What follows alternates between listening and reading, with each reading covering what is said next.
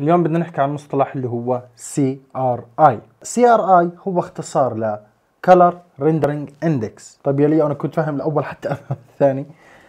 خلينا شوي شوي نبلش شرح عبين ما نوصل لمعنى هذا المصطلح وإيش استخداماته. ذكرنا بالفيديو الماضي عن الوايت بالانس إنه كيف إحنا وظيفتنا كمصورين نطلع الألوان اللي موجودة بالفيديو واقعية قدر الإمكان، واكتشفنا إنه لازم يكون الضوء أبيض حتى ما يخرب ألوان المشهد. في مشكلة ثانية كمان بتخرب علينا ألوان المشهد اللي هي جودة مصدر الإضاءة مش بس لونه، كل لون أبيض انت بتشوفه بعينك هو أبيض 100%. إيش يعني يلي؟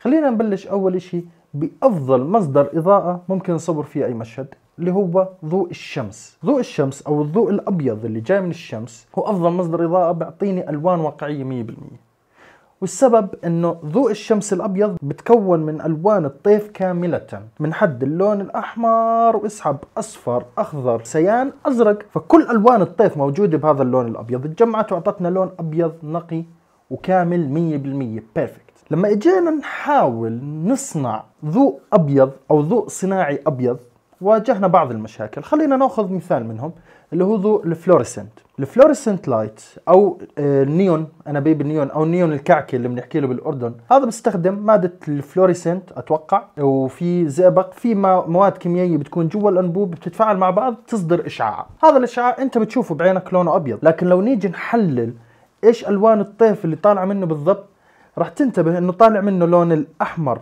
والأخضر والأزرق. هو أكثر سطوع له لكن باقي الألوان ضعيفة. فبهاي الحالة هو ما بيعطيني لون أبيض نقي 100% ممكن نحكي 70% طيب يلي هذا كله حكي وأرقام شو بيأثر عنا على التصوير؟ بدنا نعمل محاكاة بسيطة. نعتبر هذا المشهد حاليا مصور بإضاءة fluorescent okay؟ راح تنتبه في اختلاف واضح جدا. أول شيء على لون بشرتي وثاني شيء على لون المشهد بشكل عام إنه اللون الأخضر المزعج طاغي عليه أكثر. طب يا اليوم أنت حكيت لنا بالفيديو الماضي إنه بس ناخذ أداة ال white balance نكبس على شيء gray أو neutral ممكن زي التابلت. وبصلح لنا اياه للأسف هالمرة ما بتزبط. بسبب أصلا المشهد كامل فيه خطأ بالألوان أو في نقص لون من مصدر الإضاءة. فبتلاقي لون البشرة أصلا منه فيه باهت تعبان.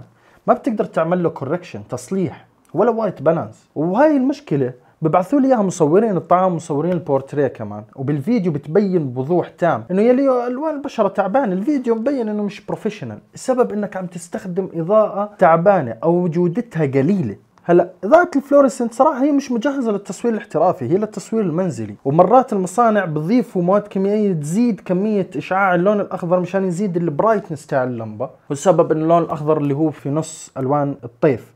فلما تزيده هو ال brightness ككل بيزيد. هلا في مصانع مشان تحل مشكلة اللون شو عملت؟ ضافت مواد كيميائية ثانية. لما تتفاعل مع بعض بتعطي ألوان الطيف الناقصة من هذا ال fluorescent منها الأصفر والمجنتا فهيك صار عندنا نوعا ما جميع ألوان الطيف موجودة لكن بنسب متفاوتة. بهاي الحالة بنحكي إنه هذا الأنبوب أعطاني ضوء أبيض بنسبة 97% مش 100% في تفاوت بنسب ألوان الطيف الموجودة فيه.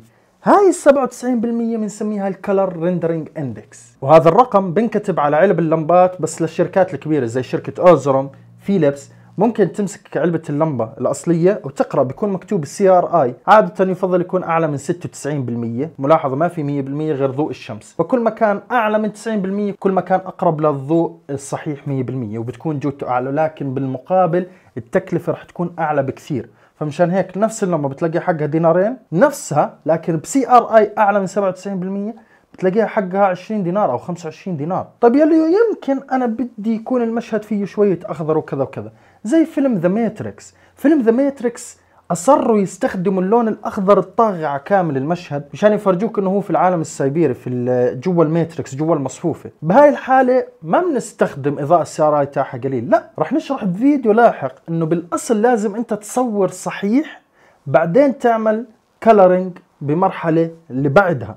لكن بالأصل لازم المعلومات تكون عندك صحيحة والألوان صحيحة بعدين نعملها coloring فيما بعد. كمان ملاحظة مهمة اللون الأبيض اللي موجود في أجهزتنا أو ال backlight طريقة تصميم التابلت والتلفونات والتلفزيونات الذكية فيها إضاءة CRI جدا عالي فيها مشان يضمن لك إنه تكون ألوان واقعية. وصارت معي لما كنت مسافر ما كنتش منزل معي العدة لكن استخدمت التابلت كمصدر إضاءة لتصوير منتج. وهذا إشي ممكن إنك تعمله. طبعا مش كل التلفزيونات ال CRI فيها عالي بدك تنتبه. فبتلاقي التلفزيون حقه 100 والتلفزيون حقه 1000 مع إنه ما فرق أشياء كثير غير الألوان. هاي معلومة كنت حاب إنه تعرفوها لأنه في ناس كثير بتنكسر شاشة تلفزيونه بكبه. لا ممكن تستخدمه كمصدر إضاءة ممكن جدا رائع للاستوديو عندك. وكل ما كان مصدر الاضاءه أكبر كل ما كانت إضاءته أنعم. بكل الأحوال أتمنى إنكم استفدتوا من الفيديو اليوم. عرفتوا شو معنى CRI؟ راح تبلشوا تدوروا عليه بالمصادر اللي راح تشتروها.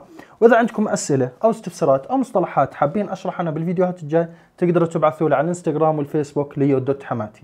وتذكروا دائما إنه كل شخص فيكم مبدع لكن بطريقته الخاصة. يعطيكم العافية.